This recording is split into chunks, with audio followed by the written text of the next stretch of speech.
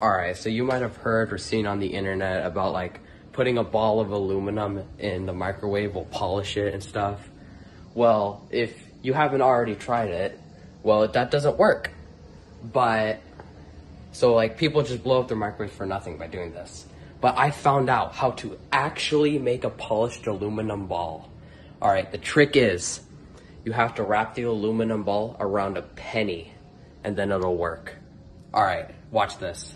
Now you just gotta wrap it up. Then you gotta put it in the microwave. And then watch this. See? Kazam.